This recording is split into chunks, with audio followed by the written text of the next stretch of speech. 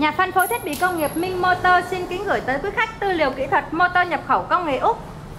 Sản phẩm sau là động cơ điện không đồng bộ, điện áp 3 pha 380V, công suất 125 ngựa, 90 kW, tốc độ 2975 vòng trên phút, hai cực điện. Và vỏ sản phẩm là khoảng cách từ tâm trục tới mặt đất là 280 mm.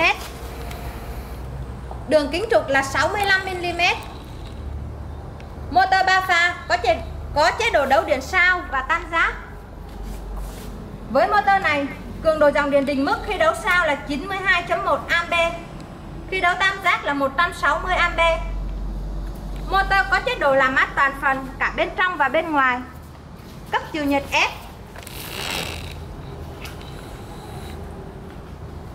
Hệ số bảo vệ bụi nước IP55 cao cấp hơn các motor thông thường. Sản phẩm bằng tôn silic xanh cán ngồi tạo độ thẩm thấu từ cao, giúp sản phẩm chạy rất êm và tiết kiệm điện năng. Khi lắp đặt chế tạo máy, quý khách cần lưu ý khoảng cách giữa các tâm lỗ đế dọc trục là 419 mm. Khoảng cách giữa các tâm lỗ đế ngang trục là 457 mm. Và đây là núm để tra dầu mỡ vào ờ, bạc đạn